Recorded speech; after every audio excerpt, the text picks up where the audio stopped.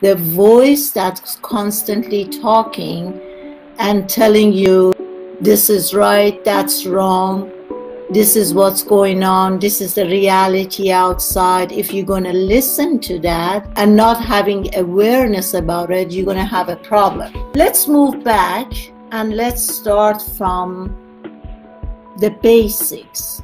The basics of what has been a part of my teaching, which is looking at our thoughts, being aware of the voice that's talking and looking at the thoughts, but don't become engaged with it. Don't let your, your thoughts entertain you.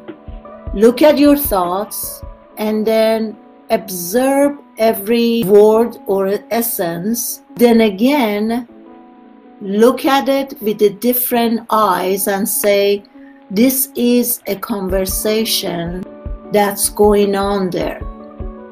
But who's, who's having this conversation?